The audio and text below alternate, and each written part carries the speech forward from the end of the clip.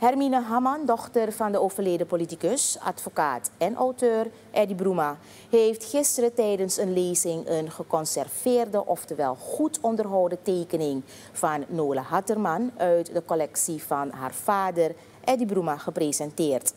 Hamman vertelde daarbij wie haar vader precies was en wat hij deed. Zij meent dat niemand bijna meer weet wie Eddie Broema is, met uitzondering van de straat die naar hem is vernoemd. Het feit dat het gros van vooral de jongeren niets weet over haar vader, baart haar zorgen. Bruma die in 1969 in het Surinaams parlement kwam, zei in zijn openingsspeech onder andere, de onafhankelijkheid is mijn leven. En wij weten alle dat dat geen loze kreet was. De consequente nationalistische lijn die zowel Kwame Nkrumah en Eddie Bruma hebben gevoerd, werd in 1957, Arki het jaartal nog, 1957 en 1975 gerealiseerd. Er zijn weinig mensen die bij dat soort dingen stilstaan, maar ik zie ze altijd wel als ik ze zo naast elkaar zie. De onafhankelijkheid van respectievelijk Ghana en Suriname. En dat moment van de onafhankelijkheid van Ghana was Nkrumah, op dat moment was Nkrumah president van zijn land. En Eddie Bruma was minister van Economische Zaken in de NPK-regering.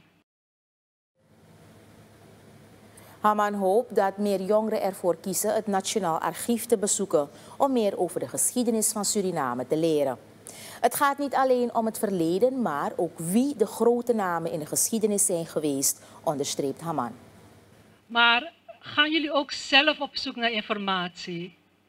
Want zoals ik dat kan vinden, kunnen jullie dat ook. En wakti scoren of lanti voor, voor terundetori. Want alles is te vinden tegenwoordig. De wetenschappers pre biggie. Maar het is geen rocket science. Schrijf, schrijf. Als ik, jullie, als ik dat zeg, mogen jullie het van me aannemen.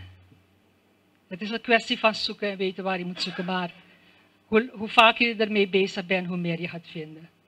Want als je wacht op scholen om je dat te leren, ja. Weet je, ik spreek nu jongeren en, dan heb ik het over Broemen en dan zeggen ze, hmm, die naam komt me bekend voor. En ik ken iemand die zei, oh, ik heb die naam al eerder gehoord. En na maanden of weken zegt ze, oh, ik zat op Lyceum 2 aan de meester Eddie Bruma, Eduard, straat. En dat is het enige wat ze weet. Haman is bezig haar PhD-opleiding af te ronden en heeft de biografie van haar vader, Eddie Bruma, gekozen als onderwerp voor haar proefschrift.